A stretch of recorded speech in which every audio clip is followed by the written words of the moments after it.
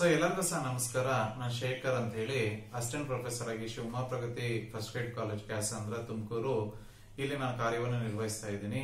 ಈಗಾಗಲೇ ನಾವು ಸಮಗ್ರ ಅರ್ಥಶಾಸ್ತ್ರಕ್ಕೆ ಸಂಬಂಧಪಟ್ಟಂತೆ ಪ್ರಥಮ ವರ್ಷದ ಬಿ ಎ ವಿದ್ಯಾರ್ಥಿಗಳಿಗೆ ಹತ್ತು ಕ್ವಶನ್ಸ್ಗಳು ಭಾಗ ಒಂದರಲ್ಲಿ ಹತ್ತು ಕ್ವಶನ್ಸ್ಗಳಿಗೆ ಉತ್ತರವನ್ನು ಕೊಡುವಂತ ಒಂದು ಪ್ರಯತ್ನವನ್ನು ಮಾಡಿದ್ವಿ. ಅದರ ಮುಂದುವರೆದ ಭಾಗ ಭಾಗ ಎರಡರಲ್ಲಿ ಇವತ್ತು ಹದಿನೈದು ಕ್ವಶನ್ಸ್ಗಳಿಗೆ ಉತ್ತರವನ್ನು ಕೊಡುವಂತ ಒಂದು ಕೆಲಸವನ್ನ ಈ ದಿನ ನಾವು ಮಾಡ್ತಾ ಇದ್ದೀವಿ. ಇವೆಲ್ಲ ಪ್ರಶ್ನೆಗಳು ಹಲವಾರು ಪ್ರಶ್ನೆ ಪತ್ರಿಕೆಗಳಲ್ಲಿ ಹಿಂದಿನ ಪ್ರಶ್ನೆ ಪತ್ರಿಕೆಗಳಲ್ಲಿ ಕೇಳಿ ಕೇಳಿರುವಂತದ್ದು ಅದಕ್ಕೋಸ್ಕರ ಈ ಪ್ರಶ್ನೆಗಳಿಗೆ ವಿದ್ಯಾರ್ಥಿಗಳು ಹೆಚ್ಚಿನದಾಗಿರುವಂತಹ ಒಂದು ಪ್ರಾಮುಖ್ಯತೆಯನ್ನು ಕೊಟ್ಟು ತಮ್ಮ ಒಂದು ಪರೀಕ್ಷೆಗೆ ಸಿದ್ಧತೆಗಳನ್ನ ಮಾಡ್ಕೊಬೇಕು ಅಂತ ಹೇಳಿ ಈ ಮೂಲಕ ನಾನು ತಿಳಿಸಲಾಗ್ತದೆ. ಈಗ ಯಾವ್ಯಾವ ರೀತಿಯಾದಂತಹ ಕ್ವಶನ್ಸ್ಗಳು ಬರಬಹುದು ಅನ್ನೋದನ್ನ ಒಂದೊಂದಾಗಿ ಗಮನಿಸುವಂತೆ ಈಗ ಮೊದಲೇದಾಗಿ ಈಗ ಸಮಗ್ರ ಅರ್ಥಶಾಸ್ತ್ರದ ವ್ಯಾಪ್ತಿ ಆಗೋದು ಅಂತ ಕೇಳ್ಬೋದು. ಸಮಗ್ರ ಅರ್ಥಶಾಸ್ತ್ರದ ವ್ಯಾಪ್ತಿ ಅನ್ನೋದು ಈಗಾಗಲೇ ಗುರುತಿಸಿರುವಂತೆ ಆದಾಯ ಮತ್ತು ಉದ್ಯೋಗದ ಸಿದ್ಧಾಂತವನ್ನು ಒಳಗೊಂಡಿರುತ್ತೆ. ಬೆಲೆ ಮತ್ತು ಹಣದುಬ್ಬರದ ಅಂಶಗಳನ್ನು ಸಹ ಒಳಗೊಂಡಿರುತ್ತೆ. ಆರ್ಥಿಕ ಬೆಳವಣಿಗೆ ಸಿದ್ಧಾಂತವನ್ನು ಸಹ ಸಮಗ್ರ ಅರ್ಥಶಾಸ್ತ್ರದ ವ್ಯಾಪ್ತಿ ಒಳಗೊಂಡಿದೆ ಮತ್ತು ಸಮಗ್ರ ವಿತರಣೆ ಸಿದ್ಧಾಂತ ಇದು ಸಹ ಏನಾಗುತ್ತೆ? ಸಮಗ್ರ ಅರ್ಥಶಾಸ್ತ್ರದ ವ್ಯಾಪ್ತಿಯಲ್ಲಿ ಬರುವಂತದ್ದಾಗಿದೆ. ಈ ನಾಲ್ಕು ಅಂಶಗಳನ್ನ ಈಗ ನೋಡಿದ್ವಿ. ಈಗ ಮುಂದಿನ ಮುಂದಿಂದು ಜನರು ಯಾವ ಉದ್ದೇಶಗಳಿಗಾಗಿ ಹಣವನ್ನ ನಗದು ರೂಪದಲ್ಲಿ ಇಟ್ಟುಕೊಳ್ಳಲು ಬಯಸುತ್ತಾರೆ? ನೋಡಿ, ಜನ ಈ ಮೂರು ಉದ್ದೇಶಗಳ ಉದ್ದೇ, ಮೂರು ಉದ್ದೇಶಗಳಿಗಾಗಿ ಜನ ನಗದು ರೂಪದಲ್ಲಿ ಹಣವನ್ನು ಇಟ್ಟುಕೊಳ್ಳಲು ಬಯಸ್ತಾರೆ. ಒಂದನೇದಾಗಿ, ವ್ಯವಹಾರದ ಉದ್ದೇಶ ಅಂತ ಹೇಳಿ ಎರಡನೇದು ಮುನ್ನೆಚ್ಚರಿಕೆಯ ಉದ್ದೇಶ ಅಂತ ಹೇಳಿ ಮೂರನೇದು ಸಟ್ಟ ವ್ಯಾಪಾರದ ಉದ್ದೇಶ ಅಂತ ಹೇಳಿ ನಾವು ಕರಿತೀವಿ. ಈ ಮೂರು ಉದ್ದೇಶಗಳಿಗೋಸ್ಕರ ಏನಾಗುತ್ತೆ? ಜನ ಹಣವನ್ನ ನಗದು ರೂಪದಲ್ಲಿ ಇಟ್ಟುಕೊಳ್ಳಲು ಬಯಸ್ತಾರೆ. ಈಗ ಹದಿಮೂರನೇ ಕ್ವಶನ್, ಸಟ್ಟ ವ್ಯಾಪಾರ ಅಂದ್ರೆ ಏನು ಅಂತ ಪ್ರಶ್ನೆ ಕೇಳಬಹುದು ಏನು ಸಟ್ಟ ವ್ಯಾಪಾರ ಅಂತ ಅಂದ್ರೆ ಭವಿಷ್ಯ ಏನನ್ನು ತರುತ್ತದೆ ಎಂಬುದಕ್ಕೆ, ಎಂಬುದನ್ನ ಮಾರುಕಟ್ಟೆಗಿಂತಲೂ ಚೆನ್ನಾಗಿ ತಿಳಿದು ಲಾಭವನ್ನು ಸಂಪಾದನೆ ಮಾಡುವ ಪ್ರವೃತ್ತಿಯನ್ನ ಸಟ್ಟ ವ್ಯಾಪಾರ ಎನ್ನಲಾಗುತ್ತದೆ. ಅಂದ್ರೆ, ಪ್ರಸ್ತುತದಲ್ಲಿ ಬೆಲೆಗಳು ಕಡಿಮೆ ಇರುವ ವಸ್ತುಗಳನ್ನು ಕೊಂಡು ಬೆಲೆ ಏರಿದಾಗ ಮಾರುವ ಮೂಲಕ ಲಾಭ ಗಳಿಸುವುದೇ ಸಟ್ಟ ವ್ಯಾಪಾರವಾಗಿರುತ್ತದೆ. ಉದಾಹರಣೆಗೆ, ಷೇರು ವ್ಯಾಪಾರ ಅಂತ ಹೇಳ್ತೀವಿ. ನೋಡಿ, ಸಟ್ಟ ವ್ಯಾಪಾರವನ್ನು ಮಾಡುವಂತವರ ಮುಖ್ಯ ಉದ್ದೇಶ ಏನಾಗಿರುತ್ತೆ? ಲಾಭವನ್ನು ಗಳಿಸುವಂತದ್ದಾಗಿರುತ್ತೆ ಯಾವಾಗ ವಸ್ತುಗಳ ಬೆಲೆಗಳು ಅಥವಾ ಷೇರುಗಳ ಬೆಲೆಗಳು ತುಂಬಾ ಕಡಿಮೆ ಇರುತ್ತೆ ಆಗ ಕೊಂಡು ಬೆಲೆಗಳು ಹೆಚ್ಚಾದಂತ ಒಂದು ಸಂದರ್ಭದಲ್ಲಿ ಅವುಗಳನ್ನು ಮಾರಾಟ ಮಾಡಿ ಅಧಿಕವಾದಂತ ಲಾಭವನ್ನು ಗಳಿಸುವಂತ ಉದ್ದೇಶದಿಂದ ಈ ಸಟ್ಟ ವ್ಯಾಪಾರವನ್ನ ನಡೆಸ್ತಾರೆ. ಇದ್ರ ಬಗ್ಗೆ ಸ್ವಲ್ಪದಾಗಿ ನಾವು, ನೀವು ತಿಳ್ಕೊಂಡಿರ್ಬೇಕಾಗತ್ತೆ ವಿದ್ಯಾರ್ಥಿಗಳು. ಈಗ ಹದಿನಾಲ್ಕನೇ ಒಂದು ಪ್ರಶ್ನೆಗಳನ್ನು ನೋಡೋಣಂತೆ. ಆದಾಯದ ಆವರ್ತಕ ಪ್ರವಾಹನ ಎಂದರೇನು ಅಂತ ಕೇಳಬಹುದು ಆದಾಯದ ಆವರ್ತಕ ಪ್ರವಾಹನ ಅಂದ್ರೆ ರಾಷ್ಟ್ರವೊಂದರ ಆದಾಯವು ವಿವಿಧ ವ್ಯಕ್ತಿಗಳು, ವಲಯಗಳು ಮತ್ತು ಕ್ಷೇತ್ರಗಳ ನಡುವೆ ನಿರಂತರವಾಗಿ ಸುತ್ತಾಡುತ್ತಲೇ ಇರುವ ಪ್ರಕ್ರಿಯೆಯನ್ನ ಆದಾಯದ ಆವರ್ತಕ ಪ್ರವಾಹನ ಎನ್ನಲಾಗುತ್ತದೆ. ನೋಡಿ, ಇಲ್ಲಿ ಬಹಳ ಸ್ಪಷ್ಟವಾಗಿ ಕೊಟ್ಟಿದ್ದಾರೆ. ರಾಷ್ಟ್ರದ ಆದಾಯವು ವಿವಿಧ ವ್ಯಕ್ತಿಗಳು, ವಲಯಗಳು, ಕ್ಷೇತ್ರಗಳ ನಡುವೆ ನಿರಂತರವಾಗಿ ಸುತ್ತಾಡುತ್ತಲೇ ಇರುತ್ತದೆ ಅಂತ ಹೇಳ್ತಾರೆ. ಅಂದ್ರೆ ಅರ್ಥ ಒಬ್ಬರ ಖರ್ಚು, ಮತ್ತೊಬ್ಬರಿಗೆ ಆದಾಯ ಆಗಿರುತ್ತೆ. ಒಬ್ಬರ ಆದಾಯ ಇನ್ನೊಬ್ಬರಿಗೆ ಖರ್ಚಾಗಿರುತ್ತೆ. ಹೀಗೆ ಆದಾಯ ಅನ್ನೋದು ಒಬ್ಬರಿಂದ ಒಬ್ಬರಿಗೆ ಹರ್ಕೊಂಡು ಹೋಗ್ತಾ ಇರುತ್ತೆ. ಅದನ್ನೇ ನಾವೇನ್ ಹೇಳ್ತೀವಿ? ಆದಾಯದ ಆವರ್ತಕ ಪ್ರವಾಹನ ಅಂತ ಹೇಳಿ ಕರೆಯಲಾಗುತ್ತದೆ. ನೆಕ್ಸ್ಟ್ ಹದಿನೈದನೇ ಪ್ರಶ್ನೆ ನೋಡೋಣಂತೆ. ರಾಷ್ಟ್ರದ ಆದಾಯವನ್ನ ಮಾಪನ ಮಾಪನ ಮಾಡುವ ತೊಡಕುಗಳು ಯಾವುವು ಅಂತ ಕೇಳ್ತಾರೆ. ಅದಕ್ಕೆ ಒಂದು ಅನಕ್ಷರತೆಯ ಒಂದು ಸಮಸ್ಯೆಯಿಂದ ನಾವು ರಾಷ್ಟ್ರದ ಆದಾಯವನ್ನು ಮಾಪನ ಮಾಡೋಕೆ ನಮಗೆ ಆಗದೆ ಇರುವಂತದ್ದು ಅಂಕಿ ಅಂಶಗಳ ಅಲಭ್ಯತೆಯಿಂದನೂ ಏನಾಗುತ್ತೆ, ರಾಷ್ಟ್ರದ ಆದಾಯವನ್ನು ಮಾಪನ ಆಗದೇ ಇರುವಂತದ್ದು ಸಾಟಿ ವ್ಯಾಪಾರದ ಪದ್ಧತಿ ಅಂತ ಹೇಳ್ತೀವಿ. ಸಾಟಿ ವ್ಯಾಪಾರದ ಪದ್ಧತಿ ಅಂದ್ರೆ ವಸ್ತು ವಸ್ತುಗಳ ಮಧ್ಯೆ ಏನಾಗಿರುತ್ತೆ ಏನು ವಸ್ತು ವಸ್ತುಗಳ ಮಧ್ಯೆ ವಿನಿಮಯ ಆಗುವಂತದನ್ನ ನಾವು ಸಾಟಿ ವಿನಿಮಯ ಪದ್ಧತಿ ಅಂತ ಹೇಳ್ತೀವಿ. ಅಂತಹ ಪದ್ಧತಿ ಇದ್ದಾಗ ಯಾವುದೇ ಕಾರಣಕ್ಕೂ ಸಹ ಹಣದ ಮೂಲಕ ವಸ್ತುಗಳ ಮೌಲ್ಯವನ್ನ ಇಲ್ಲಿ ಮಾಪನ ಮಾಡಕ್ಕಾಗಿ ಆಗಿರಂಗಿಲ್ಲ. ಅದ್ರ ಆ ಒಂದು ಸಮಸ್ಯೆಯಿಂದಲೂ ಸಹ ರಾಷ್ಟ್ರದ ಆದಾಯವನ್ನ ಮಾಪನ ಮಾಡೋಕೆ ಸಮಸ್ಯೆಗಳಾಗಿರುತ್ತೆ. ಮತ್ತೆ ವೃತ್ತಿ ನೈಪುಣ್ಯ ರಹಿತತೆ ಅಂತ ಹೇಳ್ತೀವಿ. ಅಂದ್ರೆ ವ್ಯಕ್ತಿಗಳಿಗೆ ನೈಪುಣ್ಯತೆ ಇಲ್ಲದೆ ಇರೋ, ವೃತ್ತಿ ನೈಪುಣ್ಯತೆ ಇಲ್ಲದೆ ಇದ್ದಂತ ಒಂದು ಸಂದರ್ಭದಲ್ಲೂ ಏನಾಗುತ್ತೆ? ರಾಷ್ಟ್ರದ ಆದಾಯವನ್ನ ಮಾಪನ ಮಾಡುವುದಕ್ಕೆ ತೊಡಕಾಗುತ್ತೆ. ಸೊ ಇದು ಹದಿನೈದು ಕ್ವಶನ್ ಇರುವಂತದ್ದು. ಹದಿನಾರನೇ ಕ್ವಶನ್ ಸೇ ಅವರ ಮಾರುಕಟ್ಟೆ ನಿಯಮದ ಪ್ರಮುಖ ಸೂಚ್ಯಾರ್ಥಗಳು ಯಾವ್ಯಾವು ಅಂತ ಕೇಳ್ಬೋದು.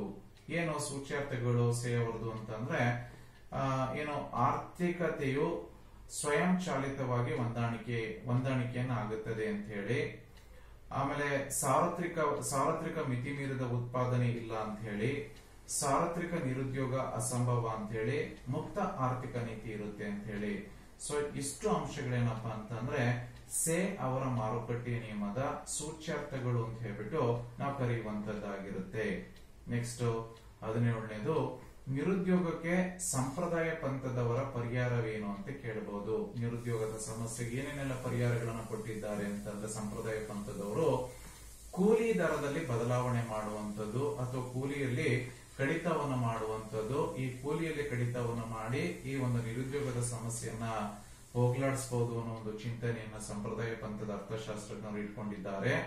ಎರಡನೇದು ಬಡ್ಡಿ ದರದಲ್ಲಿನ ಬದಲಾವಣೆಗಳನ್ನು ಮಾಡ್ತಾನೂ ಸಹ ನಾವು ನಿರುದ್ಯೋಗದ ಸಮಸ್ಯೆಗೆ ಪರಿಹಾರವನ್ನ ಕಂಡುಕೊಬಹುದು ಅನ್ನೋ ಒಂದು ಚಿಂತನೆಯನ್ನ ಹೊಂದಿದ್ರು. ಮತ್ತೆ ಬೆಲೆಯಲ್ಲಿನ ಬದಲಾವಣೆಯನ್ನ ಮಾಡಿದಾಗ ಏನಾಗುತ್ತೆ, ನಿರುದ್ಯೋಗದ ಸಮಸ್ಯೆಗೆ ಪರಿಹಾರವನ್ನ ಕೊಡಬಹುದು ಅನ್ನೋ ಒಂದು ವಿಚಾರವನ್ನ ಈ ಸಂಪ್ರದಾಯ ಪಂಥದ ಅರ್ಥಶಾಸ್ತ್ರಜ್ಞರು ಹೊಂದಿರುತ್ತಾರೆ. ನೆಕ್ಸ್ಟ್ ಹದಿನೆಂಟನೇ ಒಂದು ಕ್ವಶನ್ಸ್ ನೋಡೋಣಂತೆ ಮುಕ್ತ ಆರ್ಥಿಕ ನೀತಿ ಅಥವಾ ತಟಸ್ಯ ನೀತಿ ಅಂದ್ರೆ ಏನು ಅಂತ ಕೇಳಬಹುದು? ಏನು ಮುಕ್ತ ಆರ್ಥಿಕ ನೀತಿ ಅಥವಾ ತಟಸ್ಯ ನೀತಿ ಅಂತಂದ್ರೆ ಆರ್ಥಿಕ ಚಟುವಟಿಕೆಗಳಲ್ಲಿ ಸರ್ಕಾರ ಕನಿಷ್ಠ ಪ್ರಮಾಣದಲ್ಲಿ ಭಾಗವಹಿಸುವುದನ್ನ ಮುಕ್ತ ಆರ್ಥಿಕ ನೀತಿ ಎನ್ನಲಾಗುತ್ತದೆ. ಅಂದ್ರೆ ಸರ್ಕಾರದ ಭಾಗವಹಿಸುವಿಕೆ ಅಥವಾ ಹಸ್ತಕ್ಷೇಪ ತುಂಬಾ ತುಂಬಾ ಕಡಿಮೆ ಇರುತ್ತೆ. ಇಲ್ಲಿ ಸರ್ಕಾರ ಬಹಳ ಮುಖ್ಯವಾಗಿರುವಂತ ಕಾರ್ಯಗಳಿಗೆ ಮಾತ್ರ ಅತ್ಯ ಹಸ್ತಕ್ಷೇಪವನ್ನು ಮಾಡುತ್ತೆ. ಅದನ್ನು ಬಿಟ್ಟು ಇಲ್ಲಿ ವ್ಯಕ್ತಿಯ ಸ್ವಾತಂತ್ರ್ಯಕ್ಕೆ ವ್ಯಕ್ತಿಯ ಆರ್ಥಿಕ ಸ್ವಾತಂತ್ರ್ಯಕ್ಕೆ ಹೆಚ್ಚಿನದಾಗಿರುವಂತಹ ಮನ್ನಣೆಯನ್ನು ಕೊಡುತ್ತೆ. ಅಂತ ಆರ್ಥಿಕ ನೀತಿಯನ್ನು ನಾವೇನ್ ಹೇಳ್ತೀವಿ? ಮುಕ್ತ ಆರ್ಥಿಕ ನೀತಿ ಅಥವಾ ತಟಸ್ಯ ನೀತಿ ಅಂತ ಹೇಳಿ ಕರೆಯುವಂತದ್ದಾಗಿದೆ. ನೆಕ್ಸ್ಟ್ ಹತ್ತೊಂಬತ್ತನೇ ಕ್ವಶನ್ ಅನುಭೋಗ ಪ್ರವೃತ್ತಿ ಅಂದ್ರೆ ಏನು ಅಂತ ಕೇಳ್ತಾನೆ. ಏನು ಅನುಭೋಗ ಪ್ರವೃತ್ತಿ ಅಂತ ಅಂದ್ರೆ ಅನುಭೋಗ ಮತ್ತು ಆದಾಯಗಳ ನಡುವಿನ ಕ್ರಿಯಾಲಂಬಿ ಸಂಬಂಧವನ್ನು ತಿಳಿಯಪಡಿಸುವ ಪರಿಕಲ್ಪನೆಯನ್ನ ಅನುಭೋಗದ ಪ್ರವೃತ್ತಿ ಎಂದು ಕರೆಯಲಾಗುತ್ತದೆ. ಇಲ್ಲಿ ಬಹಳ ಮುಖ್ಯವಾಗಿ ಏನು ಅಂತಂದ್ರೆ ಅನುಭೋಗ ಮತ್ತು ಆದಾಯಗಳ ನಡುವಿನ ಕ್ರಿಯಾವಲಂಬಿ ಸಂಬಂಧವನ್ನು ತಿಳಿಸುವಂತದ್ದು ಅಂದ್ರೆ ಆದಾಯ ಹೆಚ್ಚಿದಾಗ ಅನುಭೋಗವೂ ಸಹ ಹೆಚ್ಚಾಗುತ್ತದೆ. ಆದರೆ ಆದಾಯ ಹೆಚ್ಚಿದ ದರದಲ್ಲಿ ಏನಾಗುತ್ತೆ? ಅನುಭೋಗ ಹೆಚ್ಚಾಗಲ್ಲ. ಈ ಆದಾಯ ಮತ್ತು ಅನುಭೋಗಗಳು ಎಷ್ಟು ಮಟ್ಟಿಗೆ ಯಾವ ಗಾತ್ರದಲ್ಲಿ ಹೆಚ್ಚಳ ಆಯ್ತು ಅಥವಾ ಯಾವ ದರದಲ್ಲಿ ಹೆಚ್ಚಳ ಆಯ್ತು ಅನ್ನೋದನ್ನ ತಿಳಿಸೋದನ್ನ ನಾವೇನ್ ಹೇಳ್ತೀವಿ? ಅನುಭೋಗದ ಪ್ರವೃತ್ತಿ ಅಂತ ಹೇಳಿ ನಾವು ಕರಿತೀವಿ. ಆದ್ರೆ ನಮ್ಮ ವಿದ್ಯಾರ್ಥಿಗಳಿಗೆ ಗೊತ್ತಿರಲಿ, ಆದಾಯ ಯಾವ ದರದಲ್ಲಿ ಹೆಚ್ಚಳ ಆಗುತ್ತೆ, ಅದೇ ದರದಲ್ಲಿ ಅನುಭೋಗ ಹೆಚ್ಚಳ ಆಗಲ್ಲ. ಅಥವಾ ಆದಾಯ ಯಾವ ದರದಲ್ಲಿ ಕಡಿಮೆ ಆಗುತ್ತೆ, ಅದೇ ದರದಲ್ಲಿ ಅನುಭೋಗನೂ ಸಹ ಕಡಿಮೆ ಆಗಲ್ಲ ಅನ್ನೋ ಒಂದು ತಿಳುವಳಿಕೆಯನ್ನ ವಿದ್ಯಾರ್ಥಿಗಳು ಹೊಂದಿರಬೇಕಾಗುತ್ತೆ. ನೆಕ್ಸ್ಟ್ ಇಪ್ಪತ್ತನೇ ಒಂದು ಪ್ರಶ್ನೆಯನ್ನ ನೋಡೋಣಂತೆ. ಸೀಮಾಂತ ಅನುಭೋಗದ ಪ್ರವೃತ್ತಿ ಅಂದ್ರೆ ಏನು ಅಂತ ಕೇಳಬಹುದು ಏನು ಸೀಮಾಂತ ಅನುಭೋಗದ ಪ್ರವೃತ್ತಿ ಅಂತ ಅಂದ್ರೆ ಒಟ್ಟು ಅನುಭೋಗದ ವೆಚ್ಚದಲ್ಲಿನ ಬದಲಾವಣೆ ಮತ್ತು ಒಟ್ಟು ಆದಾಯದಲ್ಲಿನ ಬದಲಾವಣೆಗಳ ನಡುವಿನ ಅನುಪಾತವನ್ನ ಸೀಮಾಂತ ಅನುಭೋಗದ ಪ್ರವೃತ್ತಿ ಎನ್ನಲಾಗುತ್ತದೆ. ಅಂದ್ರೆ ಹೆಚ್ಚುವರಿ ಆದಾಯದಲ್ಲಿ ಎಷ್ಟು ಹೆಚ್ಚುವರಿ ಅನುಭೋಗವಿರುತ್ತದೆ ಎಂಬುದನ್ನು ತಿಳಿಯಪಡಿಸುವುದನ್ನೇ ಸೀಮಾಂತ ಅನುಭೋಗದ ಪ್ರವೃತ್ತಿ ಅಂತ ಹೇಳ್ಬಿಟ್ಟು ನಾವು ಕರೆಯುವಂತದ್ದಾಗುತ್ತೆ ಉದಾಹರಣೆಗೆ ಸೂತ್ರ ಹೇಳುತ್ತೆ M P C is equal to delta C by delta Y ಆಗಿರುತ್ತದೆ. ಅಂದ್ರೆ ನಮ್ಮಲ್ಲಿ ಹೆಚ್ಚುವರಿ ಆದಾಯದಲ್ಲಿ ಎಷ್ಟು ಮಟ್ಟಿಗೆ ಹೆಚ್ಚುವರಿ ಅನುಭೋಗ, ಅಂದ್ರೆ ನಮ್ಮಲ್ಲಿ ಆದಾಯ ಎಷ್ಟು ಪ್ರಮಾಣದಲ್ಲಿ ಜಾಸ್ತಿ ಆಯ್ತು, ಅದರಲ್ಲಿ ಎಷ್ಟು ಮಟ್ಟಿಗೆ ಅನುಭೋಗದ ಪ್ರಮಾಣದಲ್ಲಿ ಬದಲಾವಣೆಗಳಾಯ್ತು ಅನ್ನೋದನ್ನು ತಿಳಿಸೋದನ್ನ ನಾವೇನ್ ಹೇಳ್ತೀವಿ? ಸೀಮಾಂತ ಅನುಭೋಗದ ಪ್ರವೃತ್ತಿ ಅಂತ ಹೇಳ್ಬಿಟ್ಟು ಸೊ ನಾವು ಕರೆಯುವಂತದ್ದಾಗಿರುತ್ತೆ ವಿದ್ಯಾರ್ಥಿಗಳು ಕನ್ಫ್ಯೂಷನ್ ಆಗುವಂತ ಅವಶ್ಯಕತೆ ಇಲ್ಲ. ಅನುಭೋಗದ ಪ್ರವೃತ್ತಿ ಬೇರೆ ಆಗಿರುತ್ತೆ. ಸೀಮಾಂತ ಅನುಭೋಗದ ಪ್ರವೃತ್ತಿ ಸ್ವಲ್ಪ ಮಟ್ಟಿಗೆ ಬೇರೆ ಆಗಿರುತ್ತೆ. ಎರಡನ್ನೂ ಸಹ ಒಂದೇ ಅಲ್ಲ. ಸೊ ನೆಕ್ಸ್ಟ್ ಫಿಶರ್ ಅವರ ಸಮೀಕರಣವನ್ನ ವಿವರಿಸಿ ಅಂತ ಕೇಳ್ಬೋದು. ಫಿಶರ್ ಅವರ ಸಮೀಕರಣ ಅಂತ ನಾವು ಕೇಳಿದಾಗ ಬಹಳ ಸರಳವಾಗಿ ಹೇಳೋದಾದ್ರೆ M V is equal to P T ಅಂತ ಹೇಳಿ ನಾವು ಕರಿತೀವಿ. ಎಂ ಅಂತ ಅಂದ್ರೆ ಹಣದ ಪ್ರಮಾಣವನ್ನು ಸೂಚಿಸುತ್ತೆ. ವೈ ಅಂತ ಅಂದ್ರೆ ಹಣದ ವೇಗೋತ್ಕರ್ಷ ಅಥವಾ ವೇಗದ ಪ್ರಮಾಣವನ್ನ ತೋರಿಸುತ್ತೆ. ಪಿ ಅಂತಂದ್ರೆ ಬೆಲೆಗಳ ಮಟ್ಟವನ್ನ ತೋರಿಸುತ್ತೆ. ಟಿ ಅಂತಂದ್ರೆ ಸರಕುಗಳ ವಹಿವಾಟಿನ ಪ್ರಮಾಣವನ್ನ ಏನಾಗುತ್ತೆ ತಿಳಿಸುವಂತದ್ದಾಗುತ್ತೆ. ಇನ್ನ ಸರಳವಾಗಿ ಹೇಳೋದಾದ್ರೆ ಎಂ ಬಿ ಅಂತಂದ್ರೆ ಹಣದ ಪೂರೈಕೆಯನ್ನ ಹಾಗೂ ಪಿ ಟಿ ಅಂತಂದ್ರೆ ಹಣದ ಬೇಡಿಕೆಯನ್ನ ಇದು ಪ್ರತಿನಿಧಿಸುವಂತದ್ದಾಗಿರುತ್ತೆ. ಇದನ್ನೇ ನಾವು ಫಿಶರ್ ಅವರ ಸಮೀಕರಣ ಅಂತ ಹೇಳ್ಬಿಟ್ಟು ನಾವು ಕರಿತೀವಿ. ಈಗ ಇಪ್ಪತ್ತೆರಡನೇ ಕ್ವಶನ್ ನೋಡೋಣಂತೆ.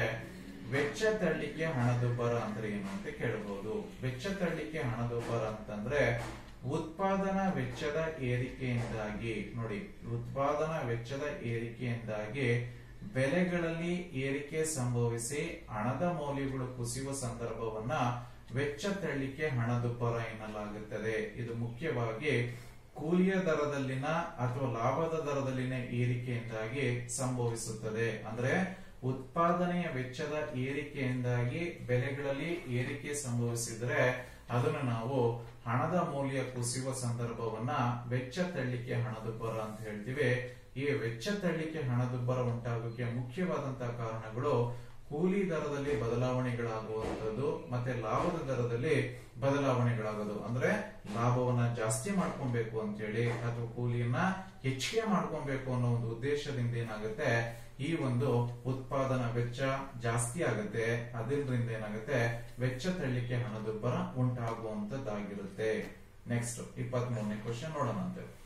ತಲಾದಾಯ ಅಂದರೆ ಏನು ಅಂತ ಕೇಳಬಹುದು ತಲಾದಾಯ ಅಂತಂದ್ರೆ ಬಹಳ ಸರಳವಾಗಿ ಹೇಳೋದಾದ್ರೆ, ಒಂದು ರಾಷ್ಟ್ರದ ಪ್ರತಿಯೊಬ್ಬ ವ್ಯಕ್ತಿಯ ಒಂದು ವರ್ಷದ ಸರಾಸರಿ ಆದಾಯವನ್ನು ನಾವೇನ್ ಹೇಳ್ತೀವಿ? ತಲಾದಾಯ ಎಂದು ಕರೆಯಲಾಗುತ್ತದೆ. ನೋಡಿ, ಒಂದು ಸ್ವಲ್ಪ ಮಟ್ಟಿಗೆ ನೋಡಿ. ಒಂದು ರಾಷ್ಟ್ರದ ಪ್ರತಿಯೊಬ್ಬ ವ್ಯಕ್ತಿಯ ಒಂದು ವರ್ಷದ ಸರಾಸರಿ ಆದಾಯವನ್ನ ತಲಾದಾಯ ಎಂದು ಕರೆಯಲಾಗುತ್ತದೆ. ಇದನ್ನ ನಾವು ಸರಳವಾಗಿ ನಾವು ಇಟ್ಕೊಬಹುದಾಗಿರುತ್ತೆ ನೆಕ್ಸ್ಟ್ ಇಪ್ಪತ್ನಾಲ್ಕನೇ ನೋಡಿದಾಗ, ತುಲನಾತ್ಮಕ, ಸ್ಥಿರಾತ್ಮಕ ಸಮಗ್ರ ವಿಶ್ಲೇಷಣೆ ಅಂದ್ರೆ ಏನು ಅಂತ ಕೇಳಬಹುದು ಆಗ ಆರ್ಥಿಕ ಆರ್ಥಿಕತೆಯಲ್ಲಿನ ವಿವಿಧ ಚಲಕಗಳ ನಡುವೆ ಏರ್ಪಡುವ ವಿವಿಧ ಸಮತೋಲನ ಸ್ಥಿತಿಗಳನ್ನ ಹೋಲಿಸಿ ಅಧ್ಯಯನ ಮಾಡಲಾಗುತ್ತದೆ.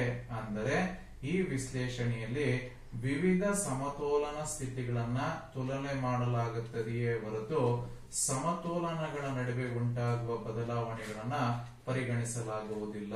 ಅಂದ್ರೆ ಈ ತುಲನಾತ್ಮಕ, ಸ್ಥಿರಾತ್ಮಕ ಸಮಗ್ರ ವಿಶ್ಲೇಷಣೆಯಲ್ಲಿ ವಿವಿಧ ಚಲ, ವಿವಿಧ ಚಲಕಗಳ ಈ ಸಮತೋಲನ ಸ್ಥಿತಿಗಳನ್ನ ಹೋಲಿಕೆ ಮಾಡಲಾಗುತ್ತದೆಯೇ ಹೊರತು ಆ ಸಮತೋಲನಗಳ ನಡುವೆ ಉಂಟಾಗುವಂತ ಬದಲಾವಣೆಗಳನ್ನ ಇದು ಪರಿಗಣಿಸುವುದಿಲ್ಲ. ಇಂಥದ್ದನ್ನ ನಾವೇನ್ ಹೇಳ್ತೀವಿ? ತುಲನಾತ್ಮಕ, ಸ್ಥಿರಾತ್ಮಕ ಸಮಗ್ರ ವಿಶ್ಲೇಷಣೆ ಅಂತ ಹೇಳ್ಬಿಟ್ಟು ಕರೆಯುವಂತದ್ದಾಗಿದೆ. ನೆಕ್ಸ್ಟ್ ಇಪ್ಪತ್ತೈದನೇ ನೋಡೋಣಂತೆ ಚಲನಾತ್ಮಕ ಸಮಗ್ರ ವಿಶ್ಲೇಷಣೆ ಅಂದ್ರೆ ಏನು ಅಂತ ಕೇಳ್ಬೋದು. ಏನು ಸಮಗ್ರ ಚಲನಾತ್ಮಕ ಸಮಗ್ರ ವಿಶ್ಲೇಷಣೆ ಅಂದ್ರೆ ಸಮಗ್ರ ಆರ್ಥಿಕ ವಿಶ್ಲೇಷಣೆಯಲ್ಲಿ ಸಮಗ್ರ ಚಲ ಪರಿಣಾಮಗಳ ಬದಲಾವಣೆಯ ಪರಿಣಾಮವಾಗಿ ಸಮತೋಲನ ಸ್ಥಿತಿಯಲ್ಲಿ ಉಂಟಾಗುವ ಬದಲಾವಣೆಗಳನ್ನು ಪರಿಗಣಿಸಲಾಗುತ್ತದೆ. ಅಂದರೆ ಈ ವಿಧಾನದಲ್ಲಿ ವಿವಿಧ ಸಮತೋಲನ ಸ್ಥಿತಿಗಳ ನಡುವೆ ಸಂಭವಿಸುವ ಎಲ್ಲಾ ಬದಲಾವಣೆಗಳನ್ನ ಪರಿಗಣಿಸುತ್ತದೆ. ಅಂದ್ರೆ ವಿವಿಧ ಸಮತೋಲನ ಸ್ಥಿತಿಗಳು, ಅಂದ್ರೆ ಚಲಕಗಳ ವಿವಿಧ ಸಮತೋಲನ ಸ್ಥಿತಿಗಳ ನಡುವೆ ಸಂಭವಿಸುವ ಎಲ್ಲಾ ಬದಲಾವಣೆಗಳನ್ನ ಪರಿಗಣನೆ ಮಾಡ್ಕೊಂಡಂತೆ ಇಂತಹ ಪರಿಕಲ್ಪನೆಗೆ ನಾವು ಚಲನಾತ್ಮಕ ಸಮಗ್ರ ವಿಶ್ಲೇಷಣೆ ಅಂತ ಹೇಳ್ಬಿಟ್ಟು ಕರೆಯುವಂತದ್ದಾಗಿದೆ ಇಲ್ಲಿಗೆ ನಾವು ಇಪ್ಪತ್ತೈದು ಪ್ರಶ್ನೆಗಳಿಗೆ ಉತ್ತರವನ್ನು ಕೊಡುವಂತ ಒಂದು ಚಿಕ್ಕದಾಗಿರುವಂತಹ ಒಂದು ಪ್ರಯತ್ನವನ್ನು ಮಾಡಿದ್ದೇವೆ. ಸೊ ಎಲ್ಲರಿಗೂ ಸಹ ನಾನು ಧನ್ಯವಾದಗಳನ್ನು ಹೇಳ್ತಾ, ಈಗ ಮತ್ತೆ ನಾನು ಶೀಘ್ರದಲ್ಲೇ ಮತ್ತೆ ಹದಿನೈದು ಪ್ರಶ್ನೆಗಳ ಉತ್ತರದೊಂದಿಗೆ ನಿಮ್ಮ ನಿಮ್ಮ ಮುಂದೆ ಬರ್ತಾ ಇದ್ದೀನಿ. ಅಲ್ಲಿ ತನಕ ಎಲ್ಲರಿಗೂ ಸಹ ನಾನು ಆಲ್ ದ ಏನು ಆಲ್ ದ ಬೆಸ್ಟ್ ಅಂತ ಹೇಳ್ತಾ ಇವತ್ತಿನ ಸೆಷನ್ಸ್ ಅನ್ನ ನಾನು ಮುಕ್ತಾಯ ಮಾಡ್ತಾ ಇದ್ದೀನಿ.